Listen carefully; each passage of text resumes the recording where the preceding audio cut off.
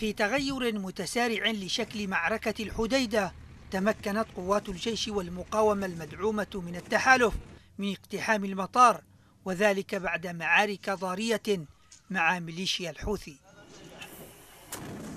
الحديدة التي تتمتع بأهمية بالغة يمثل السيطرة عليها متغيرا في موازين القوى لا سيما وأن ميناءها كان وما يزال يمثل عقدة الأزمة بعد سيطرة الحوثيين عليه واستغلاله لأغراض حربية.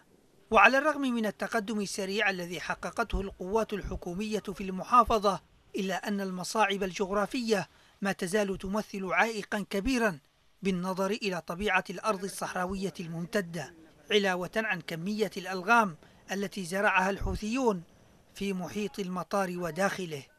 وفيما تتجه الأنظار إلى طبيعة المعركة وانعكاسها على المشهد السياسي.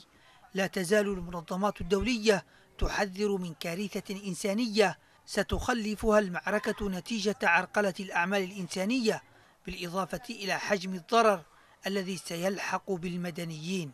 وفي الوقت الذي ينظر إلى معركة الحديدة باعتبارها أهم المعارك خلال العامين الماضيين أعرب المبعوث الأممي إلى اليمن مارتن غريفيث خلال اجتماع لمجلس الأمن عن أمله في أن تستأنف مفاوضات السلام بين أطراف النزاع الشهر المقبل.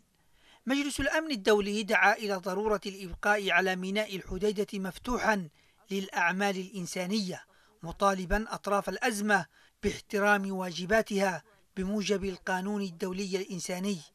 مراقبون قالوا إن الكلفة الإنسانية للمعركة في حال طالت مدتها ستصب في صالح ميليشيا الحوثي التي من الممكن أن تعود حينها إلى طاولة المفاوضات حاملة مبررات عديدة لوجودها العسكري وانقلابها. تغيرات عديدة انتجتها معركة الحديدة.